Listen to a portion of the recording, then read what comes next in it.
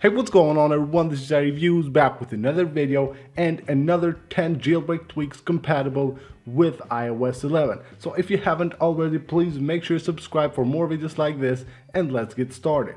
AppCon, this is a pretty awesome tweak, allows you to set any of your pictures as icons of your apps. So if you tap and hold an icon, and you go to the edit mode, all you have to do is just tap there and then you can go ahead and set a picture. So click right there, it will take you to your library and you can pick one of your pictures just like this, click save here and that picture will be the icon of that app. If you want to reset the stock icon, you go back there and just here restore original and then just click here and you will have back the stock icon of that app.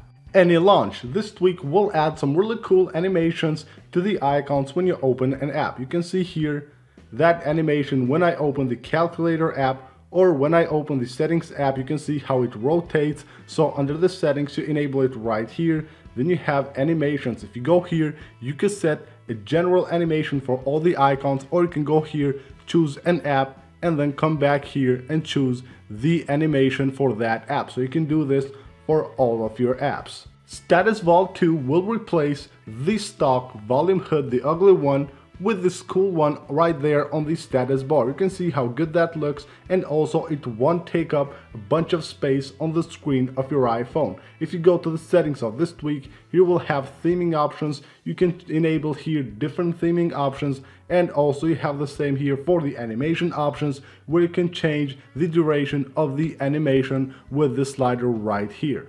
Better Shutdown is a tweak that will add a few more options to the power down menu. So if you go to the power down menu, you won't just have the power up option, but you will have also a reboot option and also another option to respring your device. To dismiss this view right here, just tap anywhere on the screen and it will dismiss it.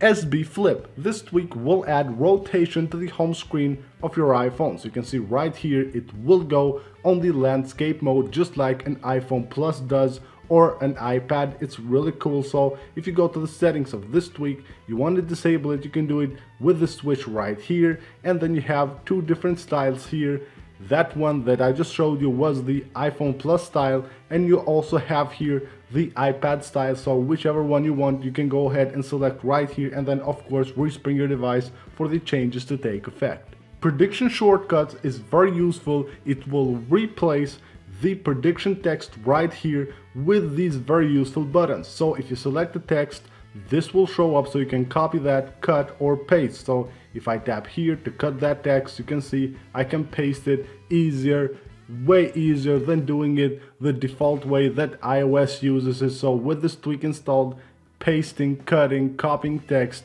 will be very easy. Dope settings is a pretty funny tweak. What it does is that it actually replaces the names of the settings right here on the settings app with these funny ones. So you can see right here, control my sender or heating mode there for the data and also for the Bluetooth are your teeth blue yet and all that stuff. So you can see here different names for different sections here on the settings app. Alarm volume. This tweak allows you to set a custom volume for your alarms. You can set that volume by going to the settings of this tweak and you will have this slider right here which allows you to set different volumes and also you enable here the fade in and you can choose the seconds you want the fade in to last so you just enter the seconds right here the default is 10 seconds here and you can basically enable any seconds that you want for the duration of the fade in hide meridian this is a simple one all it does is that it will hide the AM PM on the status bar at the clock right here. Usually you will have AM or PM and this tweak will hide that. Rocket for Instagram will add a bunch of new features to the Instagram app. So for example, you can tap and hold a profile picture to view it or if you go to a picture you can go ahead and download it to your device. Just choose the resolution right here or you can repost it. So it will add a bunch of new features which you can take a look at by going to the tweak page on Cydia. They will be listed there. You will find out all the features that this tweak will add to the Instagram app So that is it for this video guys. Thank you for watching. I hope you guys enjoyed the tweaks. For more videos like this, make sure you subscribe and also don't forget to follow me on my social media. You will find all the links in the description of this video.